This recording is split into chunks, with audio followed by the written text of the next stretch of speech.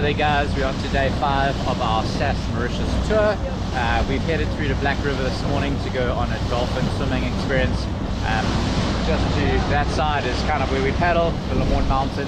Um, great to see the paddling courses that we've been able to do over the last week um, uh, from a beautiful big boat. Thanks to uh, Dominic from JPH for allowing us this awesome experience and um, yeah, just having such a great time with a great group of people and some of the standouts over the course of this week to some of the friends and camaraderie that you make um, with like-minded people that are just enjoy surfski paddling, getting out in the open ocean, and uh, obviously enjoying what Mauritius has to offer as a destination.